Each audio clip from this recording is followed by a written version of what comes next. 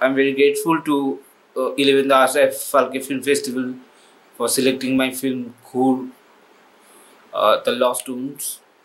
Every six minutes, every one rape happens in India, and we all seem to, you know, just uh, stereotypically compartmentalize both the victim and the perpetrator.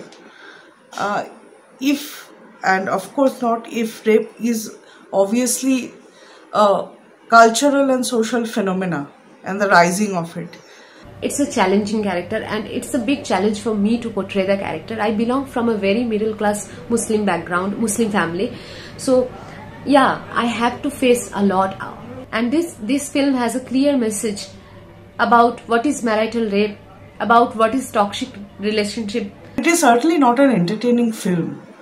It was never meant to be an entertaining film. In fact the main question was if this film entertains you then you should you know take a look so that discomfort comes across very well.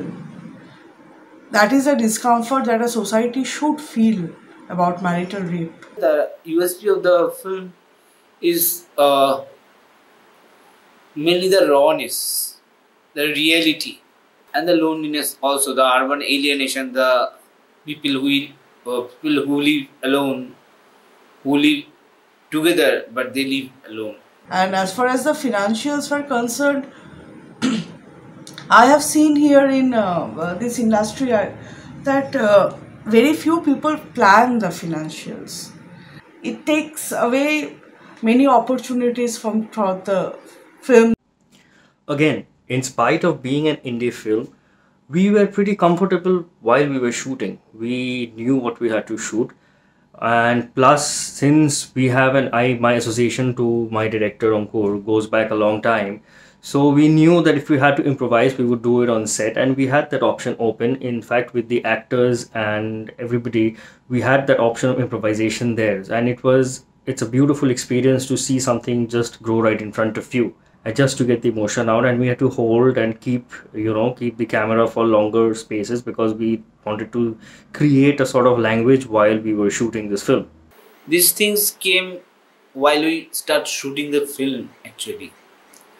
It's evolved as a uh, story while we shoot.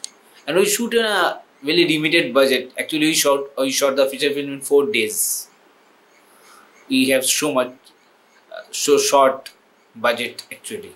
As for any emerging filmmakers my my idea is that keep making films all your life. You will get obstacles in all your films. Work with them, work around them, but never stop making films. That is the only thing that you can do and that we all can do. Just keep making good films for everybody to watch and share our work with everyone. We are still looking for distributor who can promote the film uh, to different OTTs or international release. And I'm really thankful to the Ravindra Ashraf Film Phalke Film Festival to give us this platform where people can see the film and there might be someone who might get interested to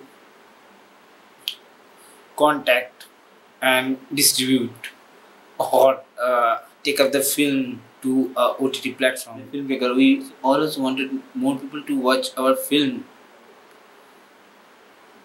and specifically I want to watch this film to uh, people to realize there is something which is not right in this society presently right now. And thank you again once again thank you Dada Saheb Phalke Film Festival to to give us such a platform because uh, we are independent filmmakers we are independent workers we are freelancer and you gave us such platform this is a huge thing for us. Thank you. Be safe. Take care